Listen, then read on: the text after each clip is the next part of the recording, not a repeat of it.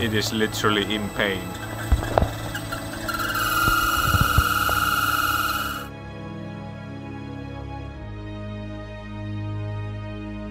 Is that people's poo water on your hand right now?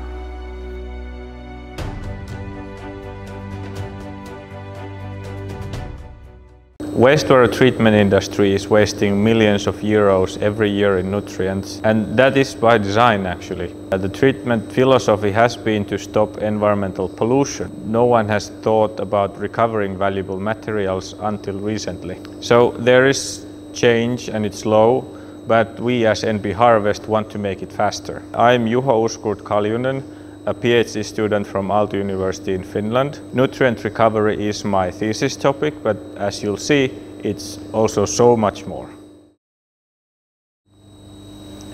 The first idea for this process was to recover ammonia from pee the first solution was a glass jar and a membrane strap in it. We couldn't buy a solution from the market because none exists suitable for wastewater. So we developed everything ourselves. A scaled up process to actually go to the field, pre-treatment for solid removal and phosphorus recovery. We've tested this in, this in many locations in Finland and the results have been really positive. We were invited to Sweden after all the piloting in Finland to test our process parallel with the conventional recovery processes. Uh, this, this facility is more than that actually. It's like a pilot park for testing different uh, techniques. And uh, there's a cool map inside, I'll show you. This is a map of Helsingborg Centrum and here you can see this building is a model of the building where we're in now. Recolab, uh, which is next to the existing treatment plant. And uh, this is a new living area where they have designed the apartment so that they source separate their wastes. So here we see three pipes coming out, green one, gray one and black one. The green one is grinded food waste, gray one is shower and sink water, and the black one is the toilet, so pee and poo. And these three pipes come to the Recolab as such and what we as NP Harvest are doing is taking care of the black flow, so pee and poo. Right. This is the NP Harvest pilot equipment and process. The water that we're treating right now is black water. Uh, that means it's pee and poo. The, there's a digester behind that wall which treats it first. So it recovers biogas from uh, the material, that means energy recovery, but it's still rich in nutrients, so ammonia and nitrogen and phosphorus in form of soluble phosphate. And that is what we want to recover here. So the, the water comes in here, this is a storage tank, and it goes to our feed tank, which is, we have an ammonia probe in here, and then we do sampling from this point onwards. From the feed tank, it is directed to the pre-treatment unit. The water goes first to fast mixing and we put lime in there as well as, as a treatment chemical. So what is there, pee and poo, uh, becomes something else. The lime that we put in increases the pH of the water, which uh, does two things. First, the ammonium becomes ammonia, so it becomes volatile and easy to recover. And the, the phosphorus that is soluble precipitates with uh, solid materials and also becomes easier to recover. The, the larger volume of this tank is, is a slow mixing tank where this precipitation happens. And the tank behind this, the circular one, is a settler. So this settler separates these two flows into two. The rich ammonia rich clean water or clear water goes to this module uh, where we recover the ammonia and the solid fraction or sludge fraction with phosphorus in it goes to the bag filter which is on top of the feed tank. This module is the ammonia recovery reaction.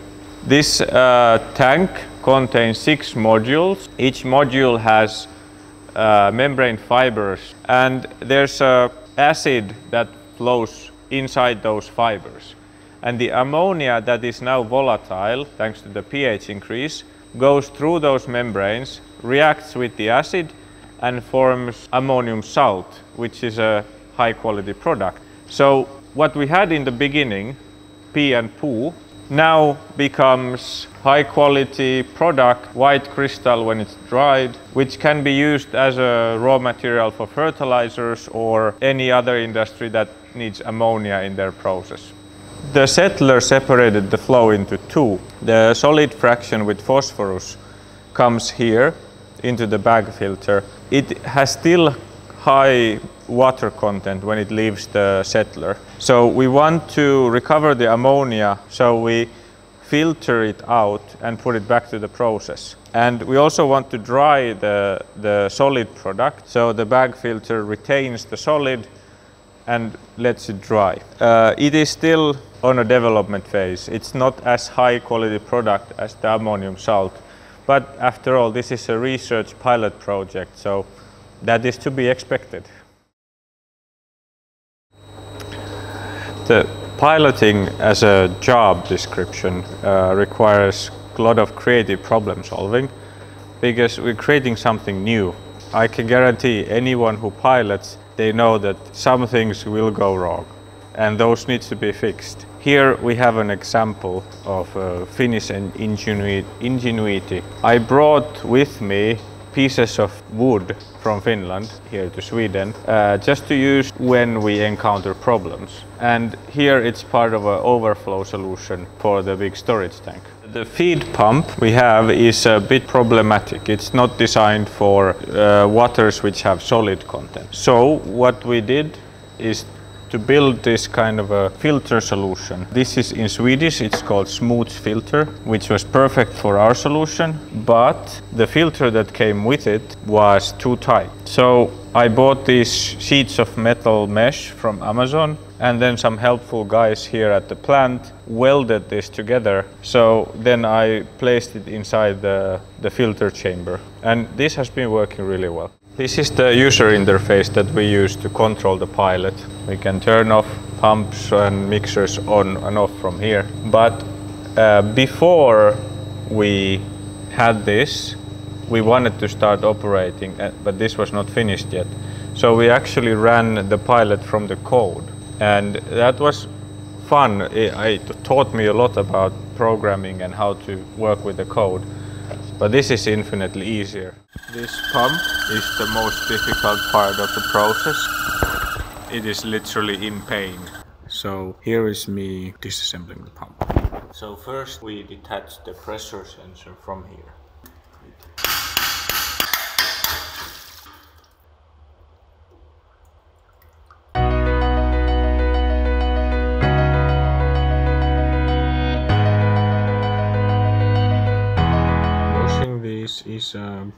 Bit of an issue.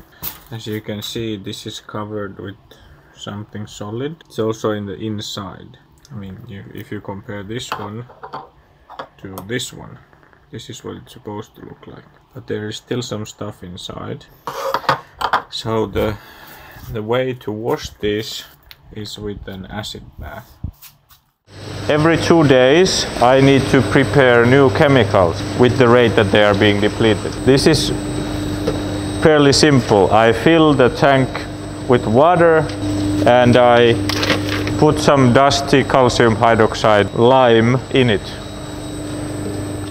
One of the more dangerous aspects of working with NP Harvest is the use of acid. Here we have 91% sulfuric acid, which we then dilute to our process. First time I used this, I actually had an accident. I dropped two drops on my foot and those two drops went straight through my shoe, through the sock, and now I have a burning wound on my foot. But you know, live and learn. Right, so what's happening in the future?